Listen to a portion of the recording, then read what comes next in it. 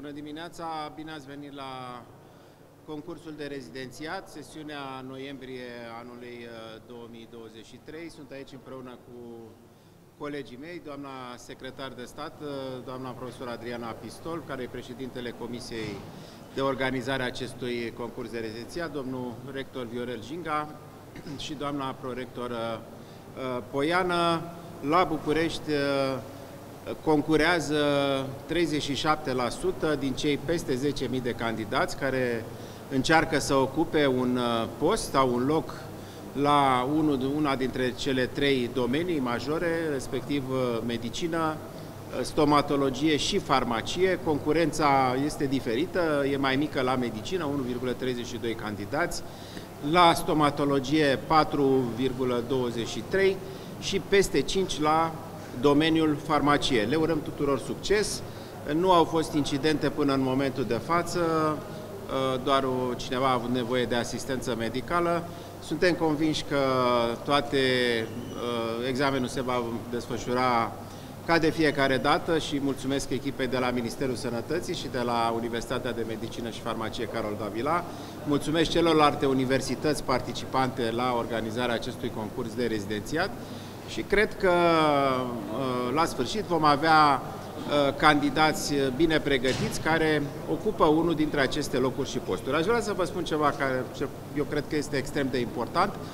În acest an a început o schimbare în sensul că, dincolo de oferta de pregătire din partea universităților, apropo de diversele specialități, care, sigur, uh, sunt corelate cu capacitatea fiecărei discipline Uh, din cadrul uh, acestor universități sau facultăți de medicină de a pregăti medici rezidenți, am început să acordăm prioritate uh, specialităților deficitare, în sensul că, probabil în acest an, vă dau un exemplu, avem cel mai mare număr din istorie de locuri la medicina de familie, peste 600 de locuri, și vrem să păstrăm acest trend și să schimbăm această abordare în care pregătim medici în funcție de capacitatea de Uh, pregătirea universităților, încet, încet, încât și ele să-și adapteze această capacitate în funcție de nevoile sistemului de sănătate.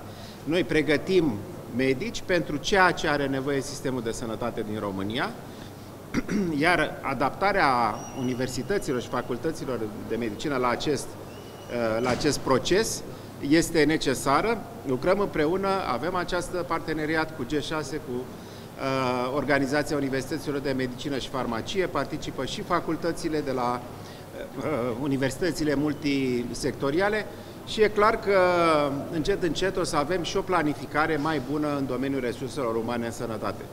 Pe de altă parte, ne preocupă dezvoltarea infrastructurii medicale, încât condițiile de muncă în România să fie atrăgătoare pentru tinerii medici. Salarizarea în bună măsură a fost rezolvată, dar condițiile de muncă sunt esențiale pentru practica medicală din uh, țara noastră. Vă mulțumesc, o să invit pe colegii mei să vă spună câteva cuvinte și, bineînțeles, ulterior, dacă aveți întrebări legate de acest subiect, dar după cum știu eu, aveți și despre multe alte subiecte care nu fac obiectul uh, uh, întâlnirii noastre de astăzi, dar asta nu e niciun fel de problemă. În spiritul bunei credințe și al transparenței voi, voi răspunde și la întrebări, dacă, bineînțeles, sunt întrebări la care pot să răspund. Mulțumesc! Uh, bună ziua tuturor! Eu cred că o să stau cumva așa. Uh, ce pot să vă spun este faptul că și în celelalte locații în care se desfășoară examenul de rezidențiat, în uh, centre universitare, totul a decurs conform așteptărilor, nu au existat incidente, uh, toată lumea a primit uh, sacii cu subiecte sigilați corespunzător și examenul a început în condiții optime. Până în prezent nu au apărut niciun fel de, de incidente în desfășurarea examenului, așa cum a spus domnul ministru nici aici și nici în celelalte locații unde acest examen se desfășoară în același timp ca și la București. Dacă există întrebări punctuale, suntem aici să vă răspundem. Mulțumesc! Bună ziua! Ca de obicei, Universitatea de Medicină și Farmacie Carol Davila din București organizează în cele mai bune condiții acest examen în această locație deosebită. Aș dori pentru perioada următoare, întrucât legea 199 2023 spune că la nivelul universităților se va organiza o direcție pentru învățământul post-universitar. O să încercăm să preluăm de la Ministerul Sănătății activitatea de repartizare a rezidenților pe diferite stagii pentru a avea un mai bun control asupra activității acestora. De asemenea, pentru la anul o să se introducă, sper, și înscrierea online a candidaților la examenul de rezidențiat. Am discutat deja cu domnul ministru pentru perioada următoare așa cum înscriem noi online la admitere candidații, să se scrie și online, să nu se mai deplaseze cu dosarele pentru a fi înscriși. De asemenea, o să încercăm la nivelul Ministerului Sănătății să flexibilizăm uh, activitatea de recunoaștere a diplomelor de sănătate a celor care sunt specializați acolo pentru a atrage cât mai mulți colegi de sănătate. Se pare că este un trend de a se reîntoarce cei care au lucrat în sănătate în spitalele noastre din diferite motive sociale, economice și familiale, dar pentru aceasta este bine ca la Ministerul Sănătății să fie mai flexibilă această modalitate de a recunoaște și de reintegrare a lor în uh, țara noastră. În ultimii trei ani au schimbat specialitatea 2234 de rezidenți, ceea ce ni se pare mult. Probabil că nici noi la nivelul universităților nu facem o orientare profesională foarte bună.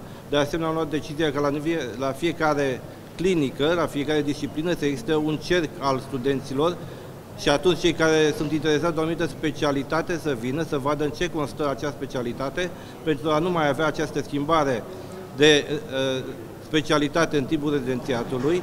Uh, dintre specialitățile către care s-au îndreptat este și medicina de familie, pe locul 2, cu 234 de uh, rezidenți care au schimbat specialitatea. Deci e foarte bine că în acest an a crescut numărul de locuri la medicină de familie, pentru că ei și-au dat seama că este poate mai benefic pentru ei să plece de la o specialitate clinică la medicină de familie.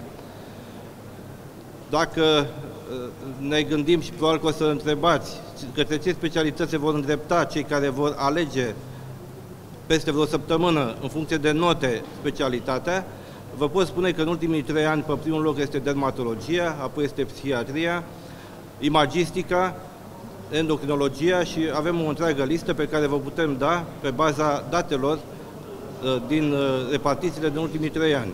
Dacă mai sunt alte întrebări, le așteptăm.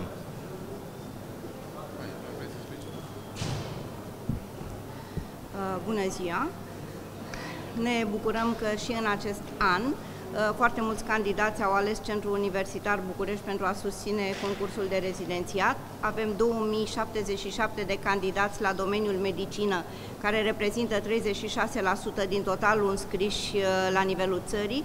Avem 945 de candidați la domeniul stomatologie, care reprezintă 40,5% din întreaga țară și avem 753 de candidați la domeniul farmacie, care reprezintă 35% din totalul candidaților. Uh, suntem uh, bucuroși că există interes pentru uh, intrarea la concursul de rezidențiat, pentru că, într-adevăr, resursa umană reprezintă cea mai importantă problemă a sistemului de sănătate și Universitatea de Medicină și Farmacie Carol Davila din București este aici pentru a pregăti resursă umană și, din acest considerent, organizarea concursului de rezidențiat reprezintă întotdeauna o prioritate în activitatea universității noastre. Vă mulțumim! Dacă aveți întrebări, vă rog.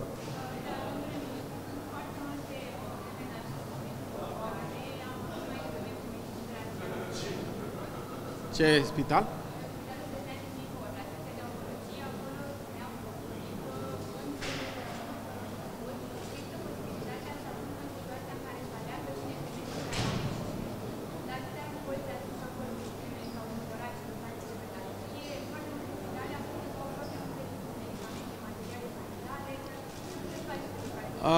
Noi ceea ce facem este să încercăm să găsim soluții împreună cu responsabilul și finanțatorul acestor programe de sănătate, care este Casa Națională de Asigurări de Sănătate prin casele județene, ca să, sigur, e un lucru care în general este cunoscut. Spitalele funcționează pe baza contractelor cu casele județene, iar programele de sănătate curative sunt de asemenea finanțate integral. Sigur că, uh, din punct de vedere al uh, sistemului de sănătate, Ministerul Sănătății face tot ceea ce este posibil și am avut întâlniri împreună cu domnul prim-ministru, chiar vineri, cred, legat de acest subiect, să găsim posibilitatea finanțării din partea guvernului secvențiale a casei de asigurări care să trimită banii în teritoriu. Ideea este că dacă la, în urmă cu 10 zile uh, Guvernul României a aprobat prin hotărâre o suplimentare a bugetului casei cu 1,7 miliarde de lei, acest lucru va continua secvențial pe măsură ce se acumulează bani la buget, uh, ei voi fi de, direcționați către Casa Națională, care la rândul ei va finanța Uh, casele județene, încât să nu există o întrerupere a activității medicale, așa cum spuneți dumneavoastră. Cred că uh, modul de abordare este cel care mm, este dictat, dacă vreți, de condițiile economice ale României, care încearcă să asigure însă și pacienților uh, ceea ce este necesar din punct de vedere, mai ales al programelor de sănătate, cele de oncologie. Știți bine că a făcut subiectul multor dezbateri publice și Cred că uh, este prioritar și pentru Casa Națională de Asigurări de Sănătate, așa cum este prioritar pentru toată lumea.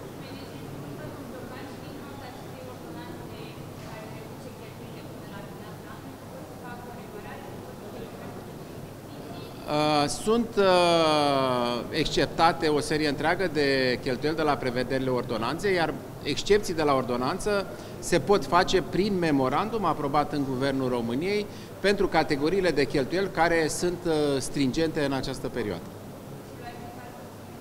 Absolut, măsura în care există solicitări foarte clare din acest punct de vedere, cu siguranță. Da, încă o dată, el este aprobat prin memorandum de Guvernul României.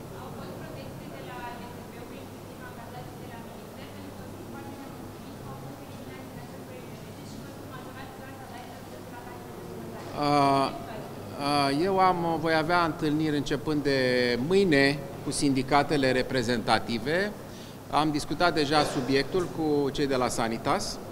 O să fac o întâlnire în cursul săptămânii și cu celelalte sindicate care sunt într-un fel sau altul, au membri de la nivelul DSP-urilor. Sincer să fiu, nu pot să nu înțeleg uh, revendicările pe care le au colegii noștri de la Direcțiile de Sănătate Publică, care, mai ales în pandemie, după cum știți, au dus uh, greul, au fost foarte, foarte greu. Și mai e un lucru care trebuie să, pe care trebuie să-l înțelegem. Profesionalizarea, medicalizarea direcțiilor de sănătate a publică, păstrarea personalului medical, este esențială pentru că nu poți să faci sănătate publică fără oameni din sănătate. Și, din punctul ăsta de vedere, atât cât uh, o să pot, uh, voi uh, face demersuri încât să găsim o soluție și pentru colegii noștri din Direcția de Sănătate Publică și, bineînțeles, din aparatul Ministerului Sănătății.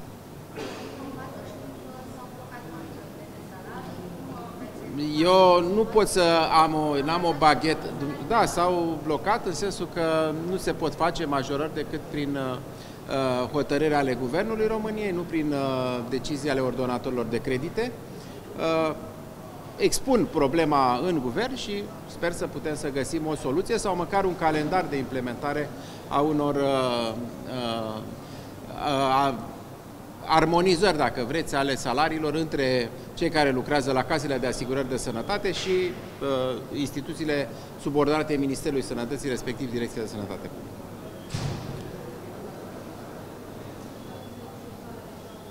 Nu, nu, nu aud. Nu.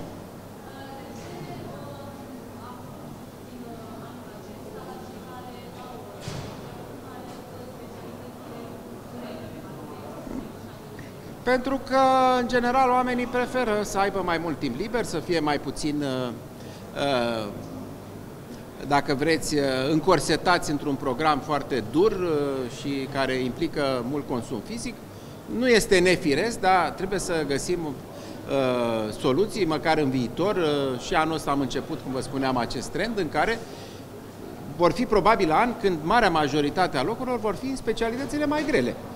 Asta e situația. Dacă țara noastră are nevoie de o anumită specialitate, trebuie să ne focalizăm pe uh, prioritizarea acelei specialități. Și noi, când, uh, vedeți, s-a schimbat foarte mult balanța. Când noi am devenit rezidenți, cele mai căutate erau posturile de chirurgie generală, de exemplu, sau de ortopedie. sunt specialități grele și din punct de vedere fizic. E, în momentul de față nu mai sunt căutate și sunt alte specialități care, uh, în care inclusiv practica privată poate să fie mai ușor de realizat.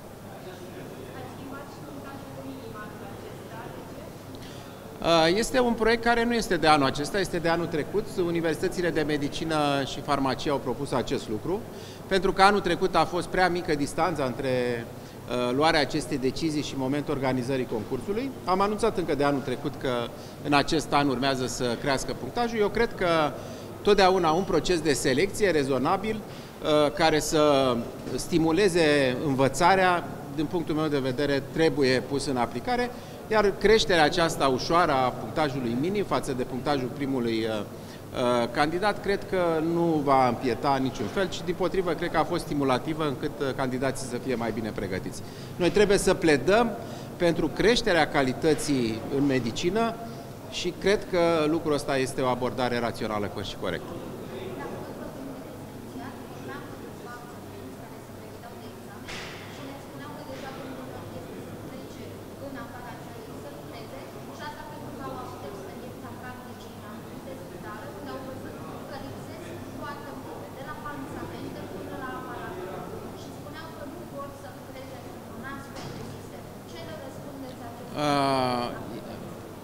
Îmbunătățirea calității, eu v-am spus și la început, în intervenția mea inițială, că ne dorim ca prin programul de investiții, dar și prin management, că până la urmă ține și de management și de resursele alocate sistemului de sănătate, uh, să putem să schimbăm fața sistemului de sănătate din România în câțiva ani. Dacă acești rezidenți vor observa că în următorii ani viața lor ca și tineri rezidenți se va îmbunătăți din punct de vedere al confortului profesional, eu cred că atunci avem șanse importante să schimbe opinia.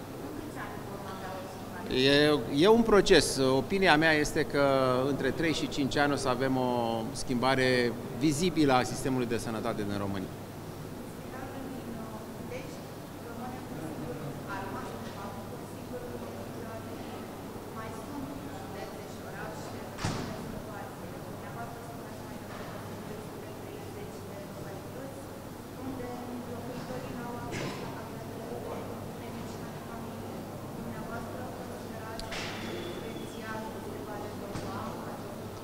Această problemă se poate rezolva nu numai prin rezidențiat. Politica de resurse umane este, sigur, o, un concept care trebuie făcut împreună de Ministerul Universității și de Universitățile de Medicină.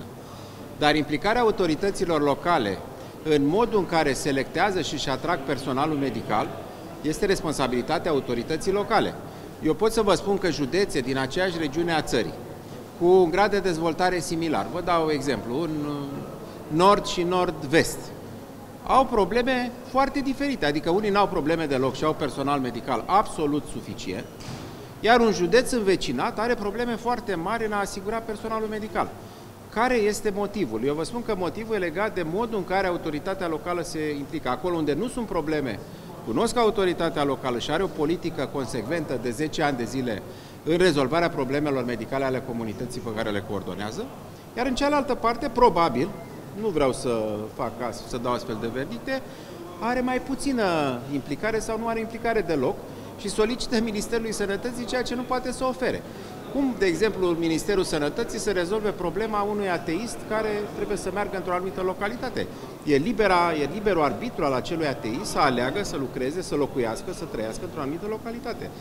Oferta pentru el nu este doar financiară, trebuie să fie și socială, are familie, copiii trebuie educați, deci toate lucrurile astea trebuie adresate atunci când uh, vrei să cauți medici. Mai mult, uh, un uh, comportament proactiv în care autoritățile locale intră în legătură cu universitățile, poate să vă dea un astfel de exemplu, domnul rector, uh, încep caravane în care invită tinerii medici să viziteze spitalul, să le arate condițiile de muncă, condițiile de viață, adică trebuie să existe o chestie preactivă. Dacă stai în birou și aștepți să-ți trimită Ministerul Sănătății un specialist de ATI, cu siguranță Ministerul Sănătății nu are nici atribuțiile și nici posibilitatea să facă acest lucru, pentru că acel ateist trebuie să aibă opțiunea și dorința să lucreze acolo.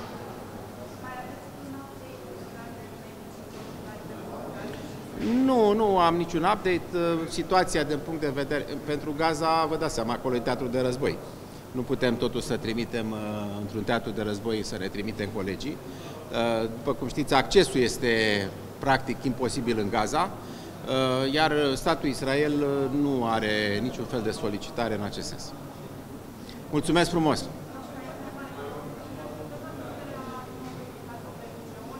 Vă răspunde doamna, doamna profesor. Dumneavoastră ce credeți? Uh, noi avem uh, toate instrumentele la dispoziția părinților, avem și vaccinul. Uh, când vezi că în școala în care învață sau în grădinița în care învață copilul tău apar cazuri de rujeolă, te gândești că rujeola poate fi prevenită că ea poate avea complicații și poate produce suferință copilului tău și te duci și îl vaccinezi.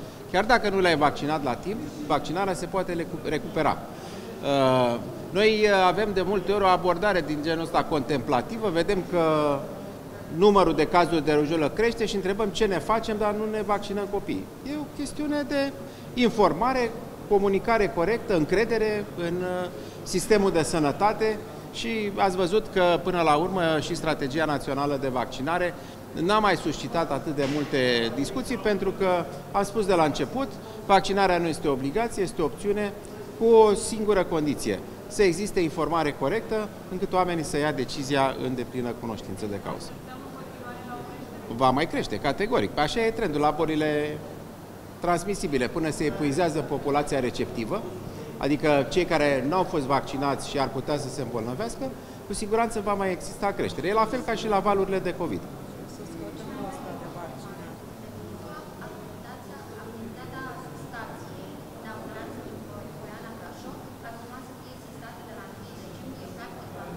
Înțeleg, am uh, luat și o legătură, am primit de la o colegă de la dumneavoastră întrebarea, nu cunoșteam subiectul. Înțeleg că e o problemă temporară și la începerea sezonului de schi se va rezolva această situație. Da, da, da. Nu știu când e început sezonul de schi, dar cu siguranță, de punct de vedere meteorologic, la asta mă refer, uh, dar cu siguranță, probabil, până de sărbători lucrurile se vor reveni normal, dar oricum, uh, stația din Brașov asigură intervenția la Poiana Brașov. Înțeleg că au fost niște probleme de natură logistică și de spațiu, că nu era, era impropriu spațiul în care își desfășurau ei activitatea. Mulțumesc!